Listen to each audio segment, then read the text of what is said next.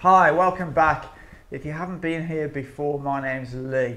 Okay, so today I have another question, and that question is Is the USA isolating itself over the Russia Ukraine crisis?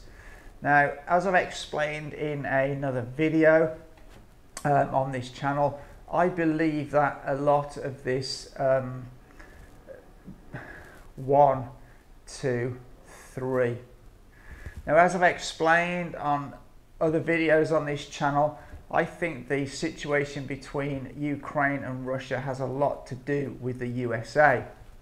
And the reason I ask this question is I want you to take a look at this map. Now, obviously, the um, country in blue is Russia, and the countries in green are the ones that have gone along with the USA and Europe um, and imposed sanctions on Russia. But what you can see, there's a huge part of the world, most of Africa, the Middle East, China, and India that have not gone along with those sanctions. So it's basically the US, the EU, Australia, and a, a small handful of other countries that have, um, you know, applied sanctions to Russia. And we now see that um, the US are trying to bully um, China into uh, going along with sanctions. Um, you know, you've already had the, the US try to get them to change their mind. They failed. They then sent their uh, Boris Johnson from the UK to try and convince them. Well, not sent him, but, but speak out to try and convince them.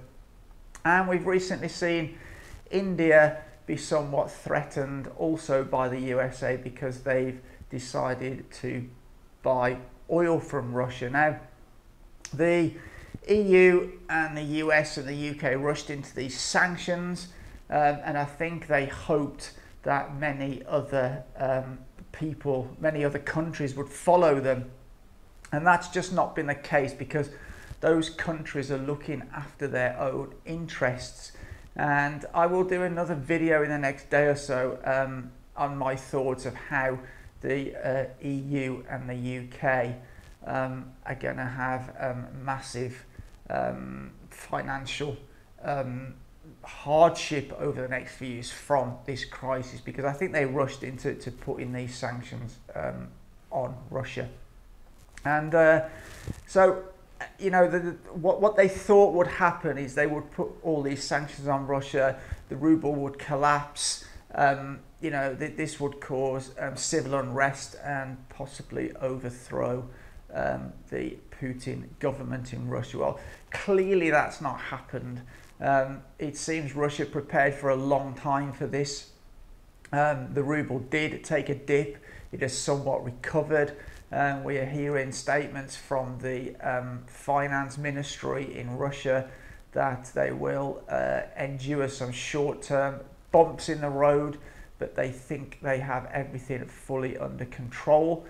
So again, just I, I feel that the, the US are becoming more and more isolated. Well, the US along with the EU.